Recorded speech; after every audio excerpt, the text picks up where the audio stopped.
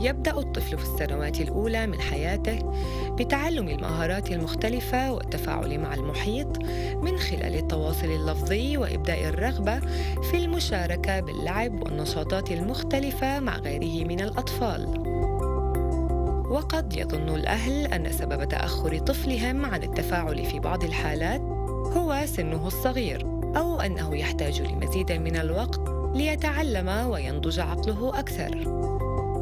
ولكنهم عندما يشاهدون اطفالا آخرين في نفس المرحلة العمرية أو ربما أصغر وهم يتعلمون مهارات أكثر منه ويتكلمون بشكل أفضل فإن ذلك سيشعرهم بالشك حيال الموضوع فيحاولون التأكد ما إذا كانت هذه التصرفات طبيعية أو أنها أعراض لخلل ما إذ يعتبر التوحد واحدا من الأسباب التي تؤدي إلى التأخر في التعلم والتفاعل مع الأطفال الآخرين.